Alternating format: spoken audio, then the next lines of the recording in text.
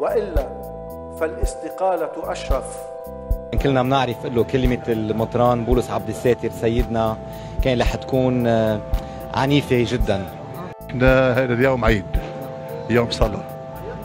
حتى الخطأ بنصلي نحن. نحن كلنا خطأ. التقت الأسرة اللبنانية.